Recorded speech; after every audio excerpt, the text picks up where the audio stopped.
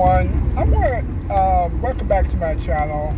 Um, actually, I've done this video three times. I couldn't remember what the subject I want to talk about.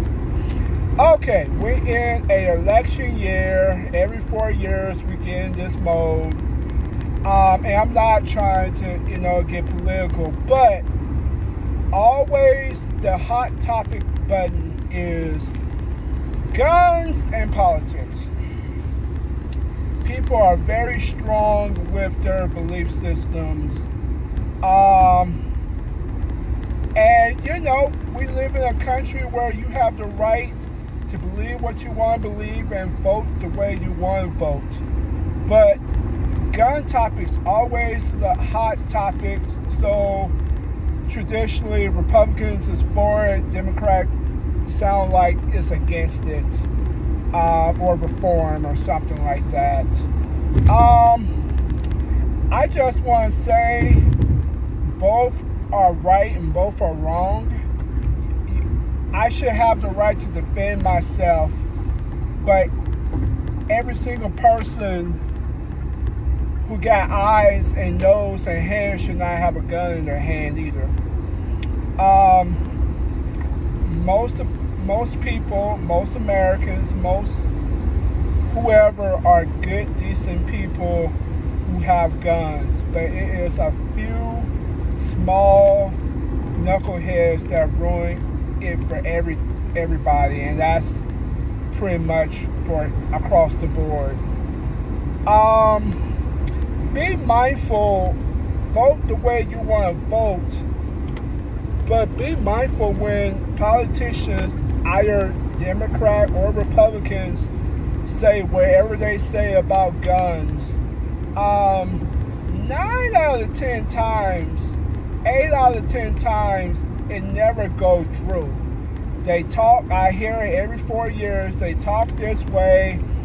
Usually, Congress or Senate is either Democrat, Republican, um, because it's a counteract of power just to make sure you know it's not monopolized or or uh, dictatorship. And very rare that gun policies get passed unless there's a major situation, unfortunate act of shooting or unfortunate things like that. Um, so, you know, when I hear these for it or against it, you know, I'm like, okay, you know, it it don't have to be all or nothing, you know. Um, for me, and I, I, I, this is the one time you'll ever hear me talk about my political beliefs. I'm a I'm a moderate Democrat. I am for Kamala Harris all day, but I don't agree with everything, especially with gun control. Um, I believe some things need to be more regulated, but when people start talking about take away AR-15s, there's a few bad people that like live in the middle of Kentucky, like with mental health issues, are the ones that you know feel like they gotta take somebody's lives. And unfortunately, most of the time they get the guns illegally. Um,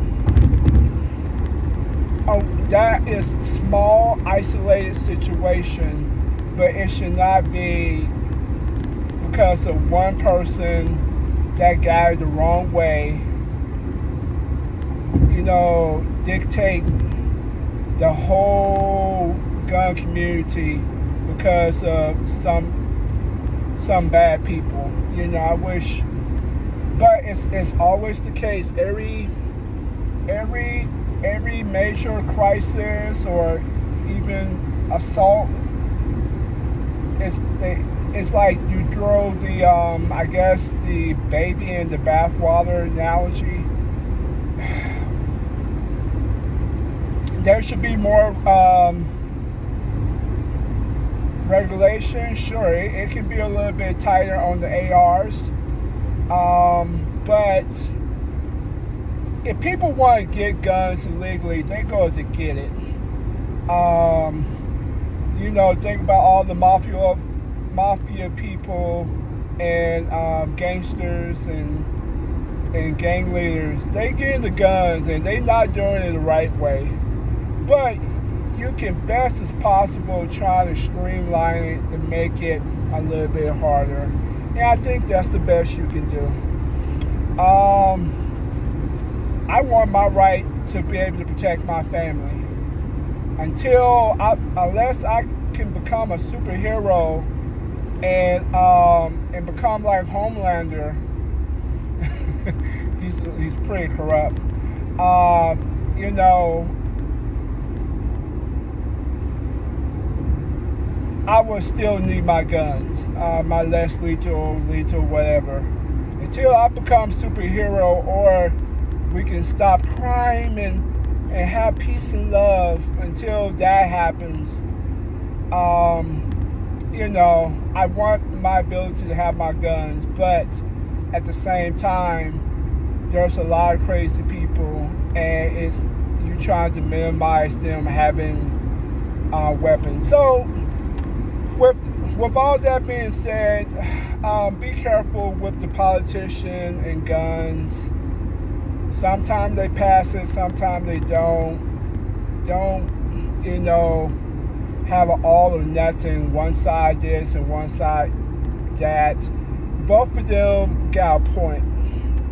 Um, but you know, we have the right to vote the way we want to. Um, and you know, that's where it is. So, all right, guys, have a good one.